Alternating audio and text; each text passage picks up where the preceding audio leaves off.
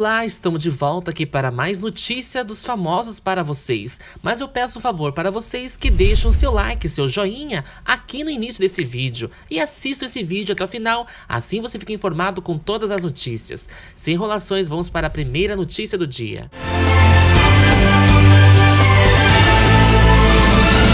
O ator Juliano Cassarré usou suas redes sociais para defender valores familiares, falando sobre a importância da figura masculina na vida dos filhos. Abre aspas. A masculinidade é uma construção social, só que não. Prover e proteger a masculinidade faz do mundo um lugar mais seguro. PS1 quem tem um pai legal sabe. PS2. Esse gorila é mais cavaleiro do que muito homem por aí. Dorme com esse barulho, escreveu ele no Instagram ao postar um vídeo. O vídeo mostra uma família de gorilas.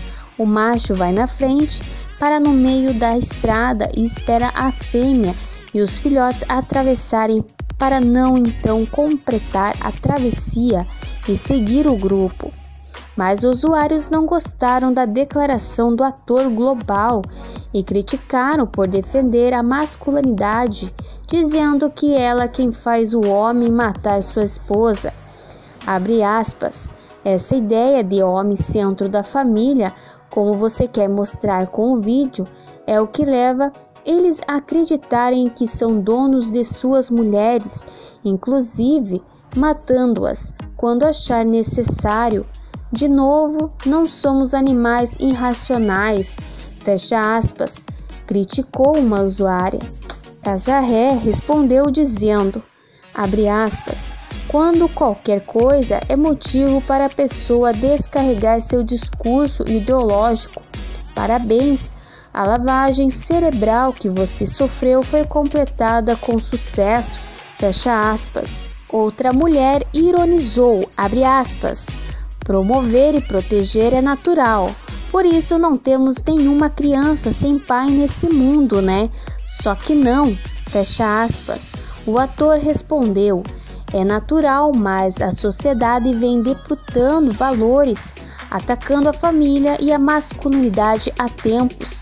O resultado é esse bando de homem boy você se refere. Fecha aspas. Mais uma internauta ganhou resposta do ator. Ela questionava o fato de, no Brasil, 55% dos lares serem formados por mulher e seus filhos sem a presença de um homem provedor. Abre aspas. Isso sem contar o fato de que é muito prejudicial para os meninos crescer sem uma figura masculina. Mães solteiras são heroínas, mas dificilmente saberão transmitir os valores da masculinidade. Fecha aspas, respondeu Cassarré. Esta foi a notícia do ator global Juliano Cassarré. Se você gosta desse ator, deixa aqui nos comentários uma nota de 0 a 10 para ele. E agora vamos para uma notícia muito triste que vem abalando o mundo dos famosos. Hal Holbrook, um lendário ator vencedor do Emmy e do Tony, morreu em 23 de janeiro em sua casa na Califórnia, disse sua filha Victoria à CNN na terça-feira. Ele tinha 95 anos. Holbrook interpretou o ator icônico Mark Twain em show solo por mais de seis décadas, ganhando um Tony Award de melhor ator em 96 por seu papel em Mark Twain Tony, que ele também dirigiu. Apresentou o show por todo o país e da Europa, tornando-se sinônimo de famoso humorista, nascido em Cleveland, filho de mãe artista de Valdelive e pai vendedor de sapatos. Holbrook e seus irmãos foram criados por seus avós em Southwark, Massachusetts. Enviado para um internato, ainda jovem e posteriormente para a escola militar, ele encontrou consolo nos trajes e nos personagens que retratou no clube de teatro Roblox teve a ideia de fazer o show de Tarwak depois de retratar o ator como parte de um projeto de honra como grande drama na Dyson University, em Granville, Ohio. Enquanto servia no exército durante a Segunda Guerra Mundial, ele atuou em produções de teatro armador, incluindo Madame Pressions, enquanto trabalhava em Northlander. Foi lá que conheceu sua primeira esposa, a atriz Ruby Johnson, com quem se casou. Em 1945, de volta a casa, Robrock conseguiu uma atuação constante na novela diurna The Black Day e continuou a realizar seu show em Taiwan. Ed Sullivan depois assistiu a uma apresentação dele e convidou Robrock para aparecer em seu programa de variedades em 1956.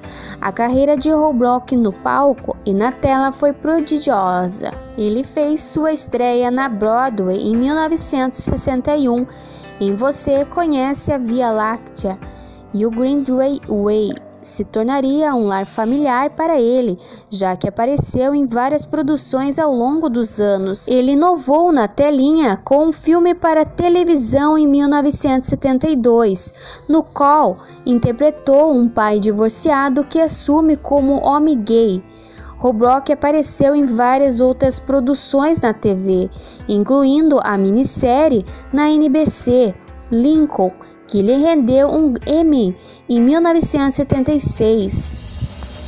Em 2008, sua indicação ao Oscar de melhor ator coadjuvante por seu papel como viúvo aposentado de Robrock, então com 82 anos, o intérprete mais velho a ser indicado nessa categoria na época.